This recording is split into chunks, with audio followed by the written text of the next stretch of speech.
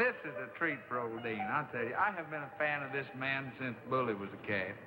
I mean it. He's just, well, he's been a part of American music for over four decades, and a big part of it. And it's a genuine pleasure and an honor to have the king of the banjo, Mr. Eddie Peabody.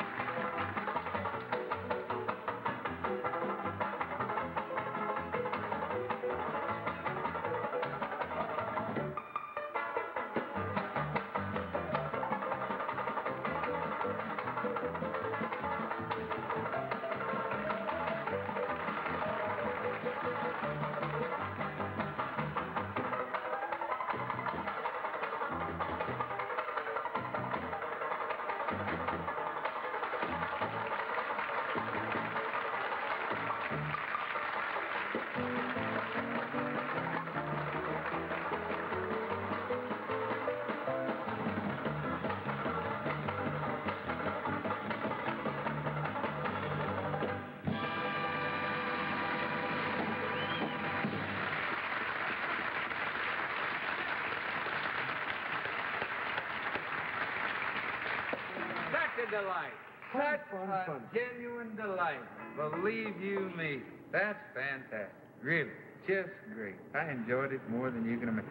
Hey, I won't, I won't, I told you he'd been, you know, four decades, uh, over 40 years, about 41 years, right? 44. 44 years in this business. And he said he wouldn't mind telling you. To tell him how old you are? He moved pretty good. I don't mind, Jimmy. No, I'm almost 64 right now. That's Still great. Yeah.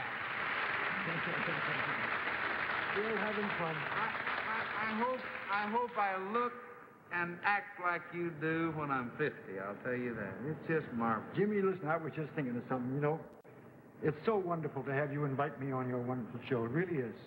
And just, just for kicks, if you'd invited me to your living room tonight, and these sweet people that are watching the show, if they had me in their living room, I'll bet you I'd take the little violin mute like this, put it on the bridge, so they could hear how it changes the tone of our little banjo. Hey, And it really does. I know it does. Now, before I get over there and get ready for the next number, may I say something to you? Be very, very quiet, and you'll hear one of the loveliest things you've ever heard in your life, and I'm gone, all right? Thank you, Jimmy. Thank you.